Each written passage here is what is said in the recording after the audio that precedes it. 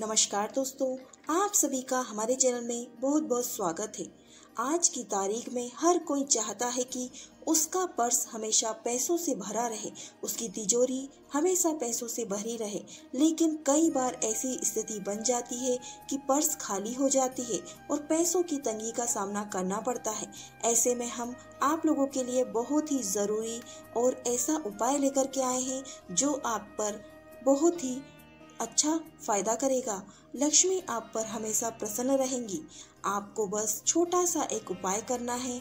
यह उपाय बहुत ही आसान और बिल्कुल निशुल्क उपाय है। इससे आप में धन में तो वृद्धि होगी ही। साथ ही साथ आपके जीवन में भी काफ़ी सुधार आएगा। जैसी स्थिति आपके परिवार में चलती आ रही है, धन संबंधी और पारिवारिक कलेश की संबंधी तो वह भी आपकी दूर होंगी। बस आपको एक छोटा सा उपाय करना है।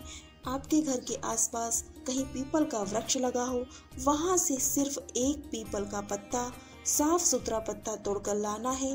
पर्स में रखने के लिए वस्तुओं का होना बहुत ही ज़रूरी है।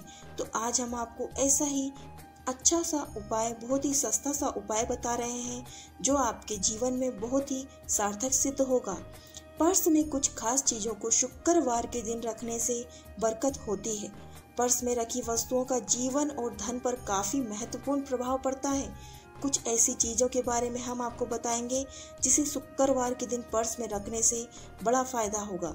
दरअसल शुक्रवार का दिन माता लक्ष्मी का होता है और माना जाता है कि इसमें शुक्रवार के दिन माता लक्ष्मी के कई स्वरूप हैं। धनवंतरी धन लक्ष्मी वैभव लक्ष्मी कई ऐसी माताएँ हैं जो लक्ष्मी के रूप में आपके घर में आपके समक्ष प्रस्तुत हो सकती हैं।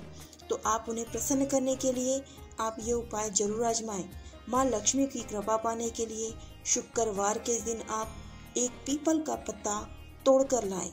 और पीपल का पत्ता कहीं से कटा फटा या फिर सूखा नहीं होना चाहिए।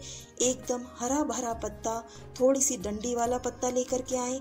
बहुत सुंदर दिखने वाला पत्ता आप लेकर आए तोड़कर। सबसे अच्छा पेड़ में से बहुत ही आसानी से आपको मिल जाएगा कहीं भी।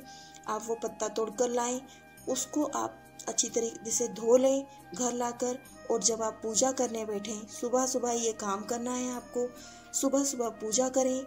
आप पूजा करते टाइम माता लक्ष्मी की तस्वीर के सामने या मूर्ति के सामने उस पीपल पर चंदन और रोली से स्वास्तिक बनाएँ। उस पर सात दाने चावल के, यानी सेंगे अक्षत होने चाहिए। सात दाने चावल के आप उस पर रखें और उस पत्ते को पूजा करें विधिवत। उसकी पूजा करें, माता लक्ष्मी की भी साथ में पूजा करें, कुछ मीठे का भोग लगाएँ। मीठा नहीं हो तो आप शक्कर या बतासे का भी भोग लगा सकते हैं, गुड़ का भी लगा सकते हैं। कंपलसरी मिठाई ज़रूरी नहीं है। आप भोग लगाएँ और ऐसा करके आप उस पीपल के पत्ते को पूजा करने के बाद माता लक्ष्मी की आरती, लक्ष्मी माँ की कोई भी आरती कर सकते हैं।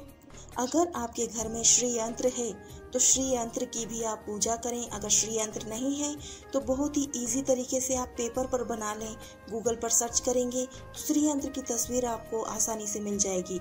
उस तरीके से आप श्री यंत्र बना लें पेन से पेंसिल से जैसे भी आपको बनाना है।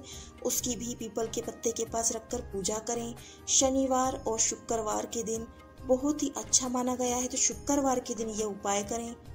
दिन भर इसे रखे रहने दें। शाम की पूजा के बाद रात को पर्दा लगा दें मंदिर का। उसके बाद आपको वह पत्ता शनिवार के दिन सुबह पूजा करने के बाद उठाना है और पूजा करने के बाद उसे अपने पर्स में ही रख लेना है। पर्स में ऐसा रखें कि उसके ऊपर के जो चावल के दाने हैं, वह भी उसमें एक पुड़िया जैसी बंध जाए। आप चाहें तो लाल कपड़े में बाँध कर भी रख सकते हैं। इस चीज़ को आप अपने पर्स में रखे रहें और यह तीन शुक्रवार ऐसा ही उपाय करना है। अगला शुक्रवार आएगा, तब फिर से उस पत्ते को कहीं विसर्जन कर दें या फिर ज़मीन में गाड़ दें या गमले में रख दें। फिर अगला पत्ता तोड़ कर लाएँ, फिर से ऐसे ही उपाय करना है। तीन शुक्रवार आपको यह उपाय करना है। इससे आपको लक्ष्मी की प्राप्ति होगी।